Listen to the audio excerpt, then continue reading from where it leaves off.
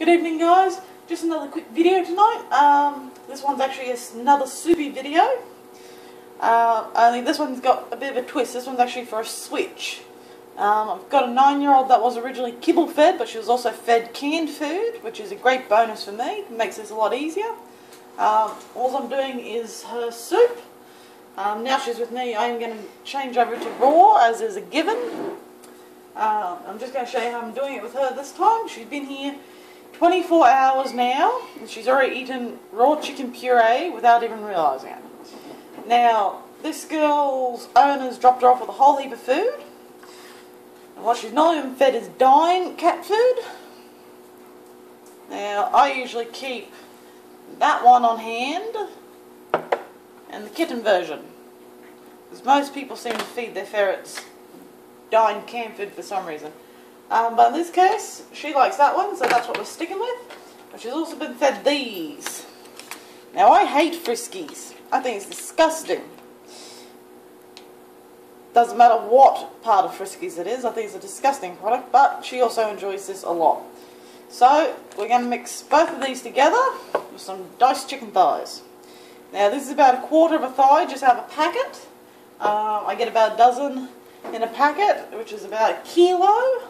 That's 2.2 pounds for the Americans. And also, I'm putting in a spoonful of plain thick cream. Nothing else added into it. Let's see if I can find the ingredients. Now, I don't use cream a lot. I ever use it for potentially difficult switches. So far, this girl won't eat chicken on its own, but she will eat it if I puree it with all these really sort of questionable products. And I'll probably catch a little bit of fire for it, but if she eats it, too bad. Because clearly it works. Now, the chicken's in the blender.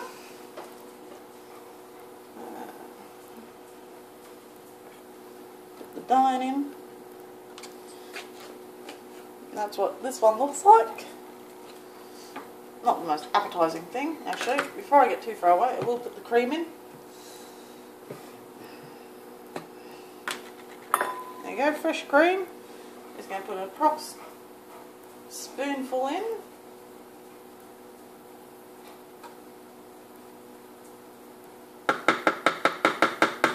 Most ferrets will accept cream. Even my raw fed ferrets from birth will accept cream.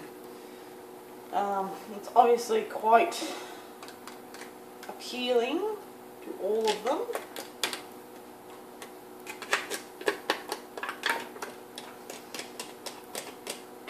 But it's just an extra insurance that she will take this.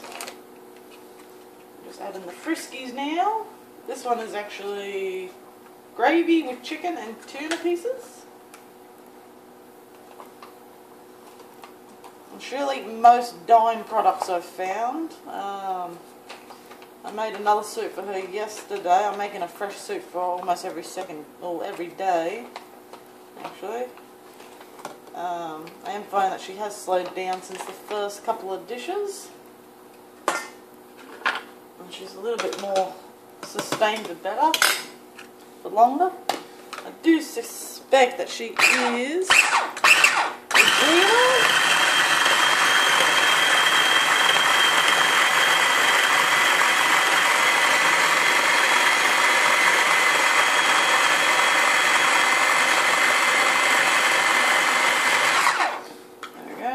blender, whiz it up all together.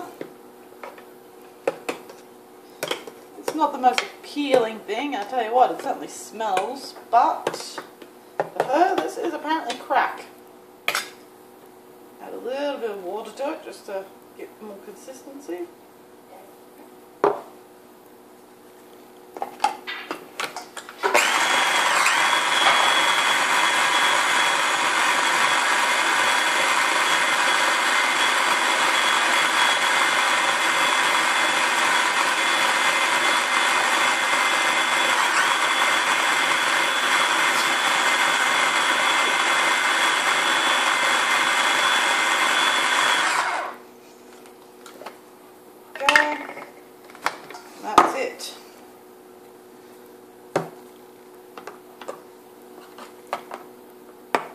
Check for any lumps because she doesn't really like to chew on things I found. There's still a little bit of chicken pieces in there but I'm not going to worry about too much because um, I do want to get her a bit more accustomed to chewing into straight chicken. Now, alright this is actually the old soup that I made, adding a little bit of new. She's actually eating a whole bowl four times a day.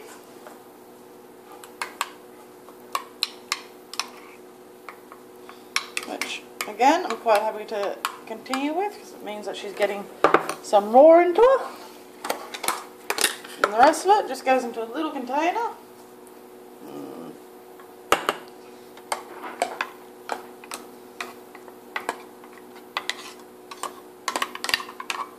Now, some people say this is wrong. I should just starve her or just put the meat in next with her kibble, her dry food. That's all good and well, but we're talking about a nine-year-old ferret whose brother's already died from insulinoma. And she's very frail. And really, this is just the easiest way to get her to eat quite a lot of food very quickly.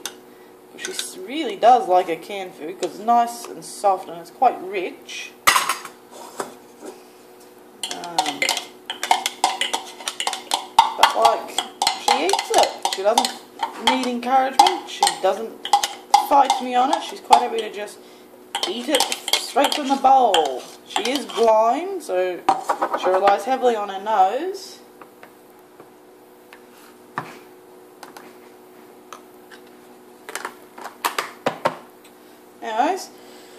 Um, that's a quick soupy. Doesn't matter what ferret it is, you can use that method. As said, I'm only doing it as a transition. It will not be a permanent fixture of her diet.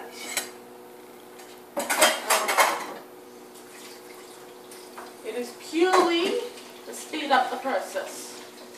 Canned food is very strong flavour. So you can hide just about anything in it and they won't even notice. And I've used the same method for cats and even really, really picky rescue dogs. Works brilliantly. And all it is, quick clean up, job done. I'll do another quick video of her eating it. Alright, so this is Nim just following on to the bit before. You can see her curled up in her blankets. And she's nine years old. I've just made soupy for her. All nice and, oops, that's a bit dark.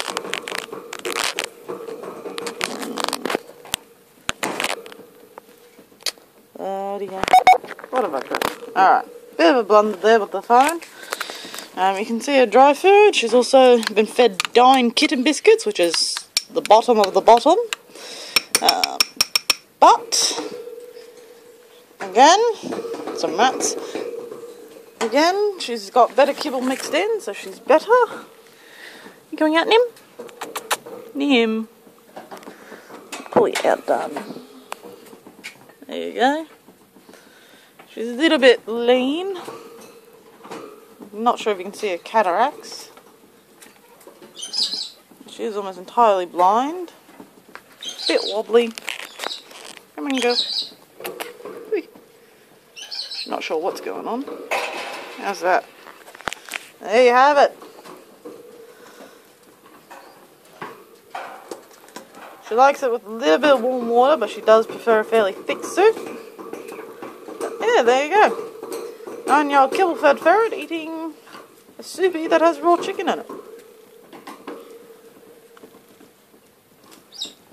She gets that whole bowl four times a day at the moment.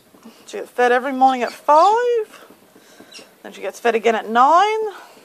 At 1. And then she gets a big bowl to hold over the night. I'll refill this before I go to bed. Good girl.